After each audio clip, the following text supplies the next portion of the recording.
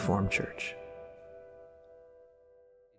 It was eye opening for me when I initially read this verse, and then just when it comes to memory, you know, uh, when it comes to my mind, I always try to just turn to it and just read it again.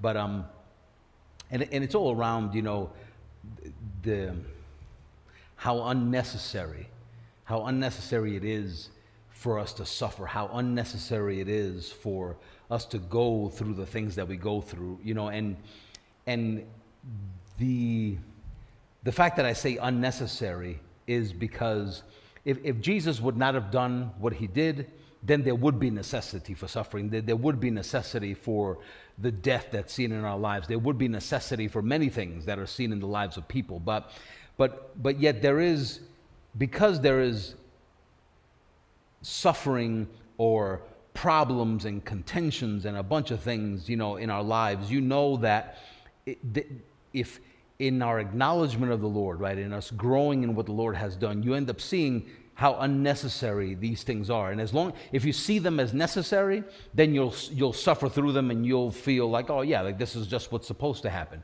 But if you see how unnecessary things are, right?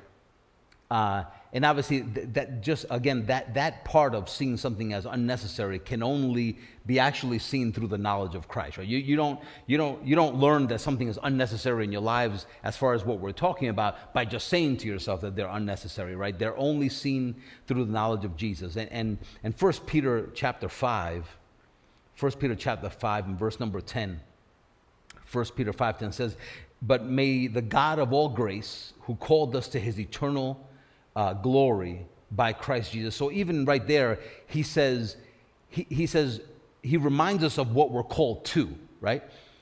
He, and, and, that's important, right? Because you, you, need to know what the Lord has called you to, what you have access to. And, and then he tells you the, the, how unnecessary certain things are, but he's telling you that he's called us unto his glory, right? Called us unto his eternal glory by Christ Jesus, right? So we know what we're called to and we know why we're called to that, right? Because it's because of what the Lord has done that we're called to what we're called to. Then he says, after you have suffered a while, it says, perfect, establish, strengthen, and settle you, right? That there, that there is, uh, that there is a growing in faith, right? That makes suffering in our lives and problems in our lives and things that we're going through in our lives makes them uh, makes them not just unnecessary but that you don't you, you, you end up not having to go through those things right? It, it doesn't mean that uh, things don't try to happen to you it doesn't mean that other people don't try to do evil against you. It's just that it's just that there are there are times in your lives where these things become they, they become irrelevant, right? I mean, whether somebody wants to try to hurt you or not, it's irrelevant, right? Because they it's not something that they can just get away with and do as they please with you, right? It, it, so. Um, so, so it is, you know, as, as, as just thinking about that, that's just a verse that kind of came, came to mind. But what, where the root of all this kind of is coming from, just to give you background a little bit, it was, it started, you know, thinking about what we, um, from Sunday, about eating the bread of life, right? That it, he, he, we saw in Exodus chapter 16 how Moses said to them, He said, Eat the bread today, for today is the Sabbath, right? Eat today, for today is the Sabbath. And we, we know that, that, uh, that bread obviously signifies life, right? And that Jesus Christ is called the bread of life because that's why he came, right? He came from heaven, just like the manna had come from heaven, right? Jesus came from heaven and he came to bring us life and to bring us life abundantly. So, not only for us to be able to possess that life on the inside, but also so that it would abound, right, outwardly, so that it would manifest outwardly. So, it's not something just that we possess inside, but something that affects our daily lives, right? Um, so, so in thinking about that, when we're thinking about when, uh, Moses just saying, "Eat today, for today is the Sabbath," right? You get an understanding that that all of the things that the Lord has been teaching us throughout the years about being partakers of His divine nature, right? That that grace and peace has multiplied to us through the knowledge of Him. That that we become partakers of His divine nature through the knowledge of Him, right? That that all of this good stuff that the Lord has taught us over the years, it's necessary, right? It's so necessary for us to remember, right? it's so, so necessary for us to remember because if we, if we don't remember, and, and I'm telling you, it's important to remember every second of the day, every minute of the day. But, but I get it that there are certain people that believe that they have certain limitations and, and that they can't, that that's not something that's possible. But that, that also is untrue, right?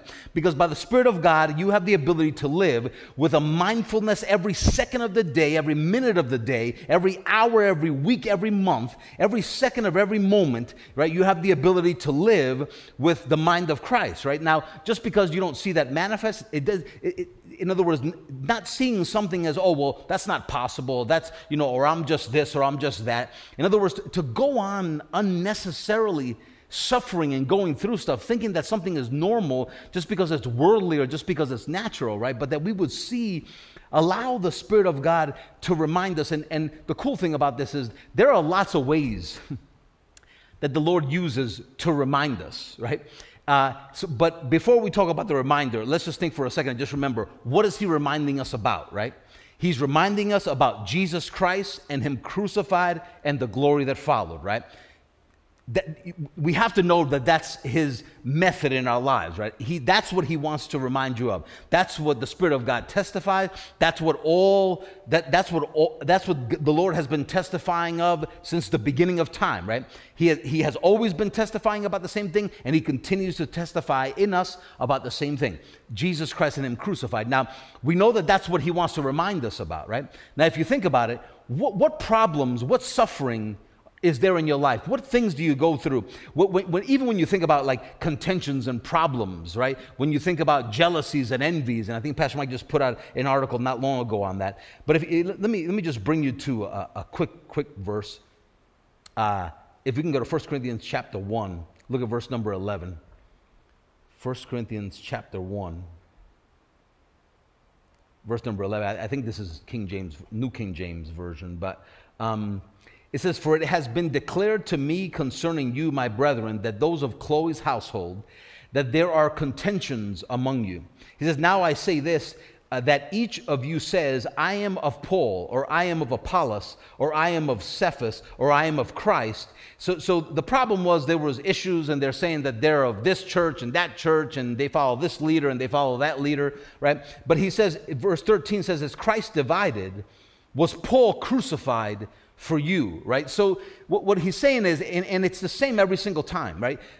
Our, our, our lack of mindfulness of what Jesus has done is what causes natural, natural mindfulness to be obviously, first of all, in our mind and then to be in our actions, right? So, so, so when he says was Christ crucified for you, was Paul crucified for you, he, he's, he's not trying to be smart or snarky about what he's saying. He's trying to bring their mind back to what the Spirit of God on the inside of them is constantly testifying to them about if they would listen, right? If we would listen constantly testifying about Jesus Christ and Him crucified, right? We, we look at situations and we think, oh, there, there's natural ways of dealing with situations. We deal with situations naturally because we're not listening to the Lord. That's why we deal with situations naturally.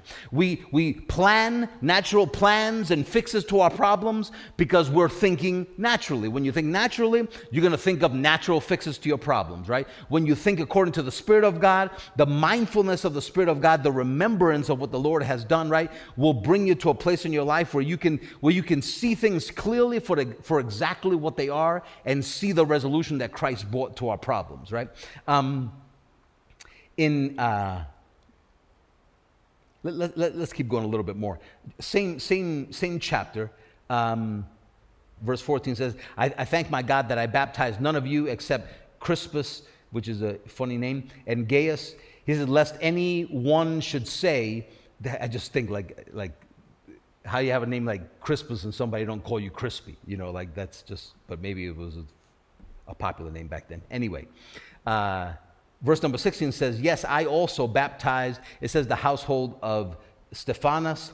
Besides, he says, I do not know whether I baptize any other. For Christ did not send me to baptize, but to preach the gospel, not in not with word with wisdom of words, lest the cross of Christ should be made of no effect. So you know what his preaching. So he was called to preach the gospel, and then he says, not according to the wisdom of words, in other words, not according to natural wisdom, but he says, lest the cross of Christ should be made of none effect. But the thing is, you don't, you're not called to preach the cross unless you have the cross in abundance in your mind, right? You can't, you can't preach the cross unless you forget all things except Jesus Christ and Him crucified. You can't preach the cross as long as you have uh, things in your life that you consider to be advantageous to you. In, in, other words, in your thinking, you, you actually believe, and unfortunately, that's why a lot of the preaching in the church is the way it is. Because people will think that they're preaching the cross, but yet in the same breath talk about how advantageous some natural things are, right? Well, when you see natural things as not advantageous, when you see natural things as those are not the things that prosper me, but instead you see Christ in Him crucified, right? Then, then you, you begin to, you can preach then the gospel, right? But there is no real true preaching of the gospel when in your mind, what is in abundantly in your heart is the advantage that you have because you do this, because you do that, because you have this talent, because you have the other talent, because you're you're able to do this, because you're able to do that, because you have strength to do this, because you have strength to do that, right? So he says, verse 18, he says, for the message of the cross, which is the message that every single person, listen, th- there are no problems in your life. There are no problems in your life that you consider a problem in your mind that do not stem from the lack of understanding of what Jesus has done for you, right? If, if, if I just was I, I, just jotted a couple of things down. Impotence or powerlessness against things in your life, right? Lack of knowledge of what Jesus has done. Guilt or condemnation over anything that you have ever done or will ever do, right? Lack of understanding of what Jesus Christ has done for you. Works of the flesh of any kind, right? Lack of understanding of what Jesus Christ has done for you. Any wrong thinking, period, right? Is lack of understanding of what Jesus Christ has done for you, right?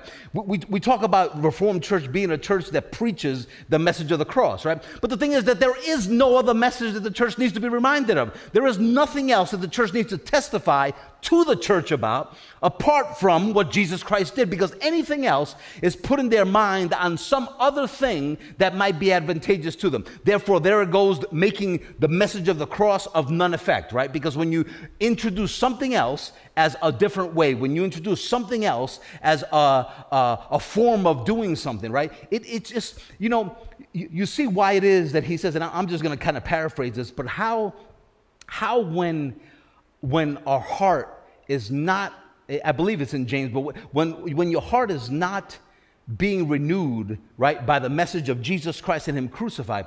That, that, that's, where, that's where our lives become, there's so much disorder in our lives, right? Where we're, it's, not, it's not just one thing that's impacted in your life, right? It's every single thing that's impacted in your life. So, and, and, then, and then especially for us here, right?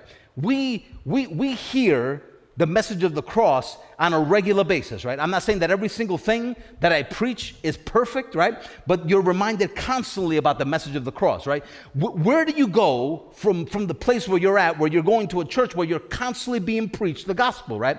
The, what is missing is our remembrance, right? When the Lord said, This is my body and this is my blood, he says, as often as you eat and you drink, he says, do this in remembrance of me. What, what was he saying? He was giving you a, a method, something even natural, right? But to help you to do what? To remember. To remember who? To remember how awesome he is, or to remember him crucified and the glory that followed, right? To remember the body and the blood. To remember the body and the blood. To remember the cross. Prayer, what is it, right? When you pray, it's for what purpose? It's to be able to remind you, right? To remind you. You you you start you start you start praying from the top of your mind, right? And as you as you're mindful of the Spirit of God and you're acknowledging Him, the Spirit of God takes over and begins to remind you and remind you and remind you and to bring to your mind the things that you should be mindful about, right? Otherwise, if you're not if you're not praying, if you're not if you're not acknowledging the Lord in all of your ways, what are you doing? You're acknowledging yourself, you're acknowledging your problem, you're having a pity party, and you're bringing other people into it, right? We have to be able to be people that can not only be reminded at church, but also take on the responsibility upon ourselves to remind ourselves, right? In other words, to put our, our mind in a position to allow the Lord to remind us. And that's not applicable to one of us in here, that's applicable to every single one of us, right? Every single one of us, we need to remember. We need to remember, right? It's not good enough to come to church every service. You need to remember. How often? As often as you can remember. How often should it be? Every second of every day, we should be aware. Every second of every day. And every second of every day that you're not, it is against you and not for you, right? It's working against you, not for you, right? So suffering is unnecessary. Heartache is unnecessary. Tears are unnecessary. Pain is unnecessary. If you're going through it, fine. You're going through it, we're growing. No, though, it's unnecessary. And every time you see Jesus Christ and Him crucified, you recognize that's why it's unnecessary. That's why it's and, and, as, and as you forget, you will forget and you will suffer through things and, and you'll, will, you'll, you'll be looking, even though you may not pray it out loud that way because we've learned better, right? But you're thinking in your mind, I wish I could be rid of this. Right? You see, you see how it, it is, it's not hard to forget, right? It's not hard to forget. How often was, was Peter taught, right? How often were the apostles taught? And he was the one that prayed and asked God three times to take from him something that the Lord had already taken from him. And the, and the Lord reminds him, He says, Don't you recognize what I have done for you and that what I have done is sufficient for everything you'll ever need, right? You, you've forgotten, right? What is it that happens in our lives? We forget. We forget. When we become obsessed, which I, I, told Michael the other day, I don't know if we were watching a movie or it was two shows or what it was. We were at home. I think it was just Kim and, and Michael were there. And I was just saying, you know, th- this obsessed word, like people are just obsessed with the obsessed word. Like, like they just want, oh, uh, uh, I'm just obsessed with this. And they mean it like, like it's in a good way. I'm obsessed with this, or, or this is my thing, right? Like this is my thing, or, or the other thing is my thing, or this is what I like to do, or that's my stuff, right? And all they're saying is, you know what? Every minute that you, you spend in your thing and in your stuff and in your hobby and in your junk, you're spending it not on where your mind should be. So basically, all that time you do that, it's time that you could spend your, with your heart prospering the way it should, right? Pro, you, your heart can. You can put yourself in a position where you are constantly profiting in your mind from what Jesus has done. And then that brings you to a place where we can be, we can live in a place where we are constantly profiting, constantly profiting in our lives from the grace in which we stand. Constantly, constantly, right? So, so when, when you hear stuff like pray without ceasing, right? To most people, that sounds ridiculous. How could I do it without ceasing? But you see, what is it that he wants? He says, as often as you do, remember me. Remember me. It's not his pretty face that the Lord wants us to remember, right? It's, it's not good enough to even go to the right church. That's not even good enough, right? It has to be that we need to see the responsibility, the, the work that the Lord has given us, right? To acknowledge him in all our ways. That is not a small verse. That is not a popular Reform church verse. That is the truth of what our lives should be. That's the truth of what our lives should be. If you don't, right, if you don't remember that it's all about what he did and not about what you do, you're gonna try to be great parents, right? You're gonna try to be great employees. You're gonna try to be great this. You're gonna try to be a good that. You're gonna try to be a good pastor.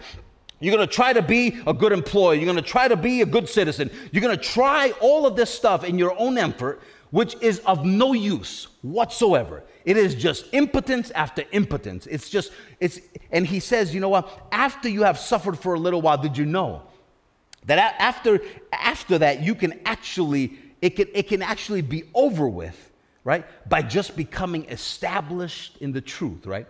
Becoming established in the truth. And, and still, even in that, you know, whenever you hear that again, and I'll stop here, but whenever you hear that again about praying without ceasing, that, that's very meaningful to me right now, right? Because, because I, I, I hear the Lord loud telling me in my mind, right? This is something you constantly need to do. Constantly, constantly. You know, I, I acknowledge, I acknowledge, I know when I'm being cranky. I know when, when, when something that shouldn't be coming out of my mouth is coming out of my mouth, right? But, but, but it's not enough. It's not, it's not enough to acknowledge when, when, when something that has happened and you're like, yeah, you know what, that ought not to be like that. The point is, you know what, that ought not to even happen. It doesn't have to happen. It doesn't have to be that way.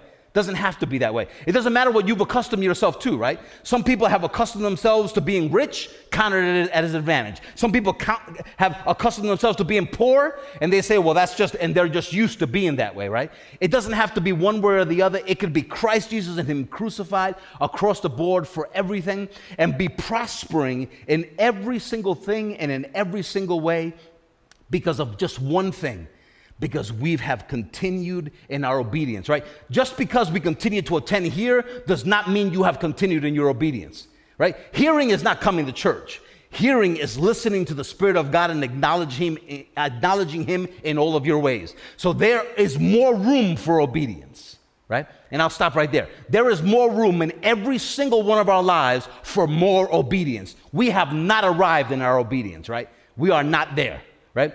There is more room to continue in our obedience, and we will see the fruit of it in our lives, right? But and and I, I you know, I, I, don't I don't know if just you know, like I, I feel like so passionate about this right now, you know. But but truthfully, and and I, I feel passionate about Jesus Christ and Him crucified on a regular basis in my life. But it, this just feels like just like it, it, just feels urgent in my mind, right? And and and maybe to be honest with you, maybe this urgency and maybe this passion, quote unquote, which is probably a horrible word, right? But maybe maybe those two things is just the way we ought to live, right? Maybe those two things is just the way it just always ought to be, right? But but to know to know, you know what, Lord, I have I have room to grow, and I I, I want to continue to grow in the knowledge of what you've done right? But but but also know this: I have to grow in the mindfulness of what you've done, right? Because you could learn everything that there is to know about Jesus. You could hear everything that there is to hear about what he's done for you, right? And the part that you'll still be missing is the mindfulness of all that you heard and learned, right?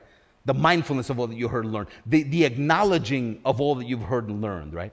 We'd still be going back to the same thing the mindfulness, right? The acknowledgement of every single thing that the Lord has done so that we can be mindful of that, right? All day long, every single minute of the day, every second of every hour.